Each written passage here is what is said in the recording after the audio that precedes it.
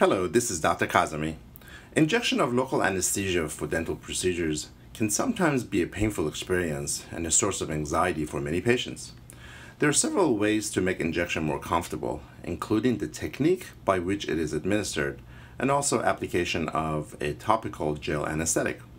Today I'd like to present a new technique for dental injection that makes it more comfortable and less painful for the patient during administration. This technique utilizes a unique device called DentalVibe, which is placed near the site of the injection and when activated begins to vibrate in a pulsating fashion.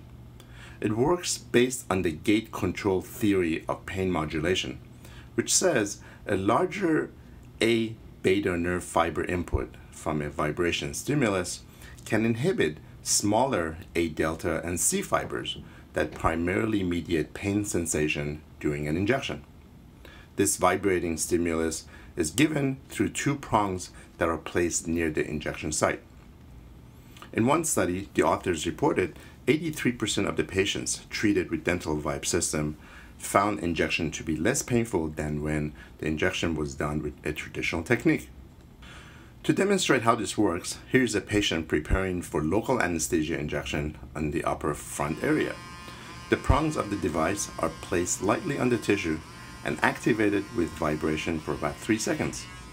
Then the needle is gently inserted and the local anesthesia is slowly administered. The same can be done on the palatal or roof of the mouth injection.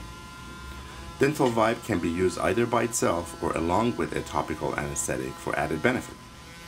In our experience, most patients have reported less pain on injection and a much better overall experience.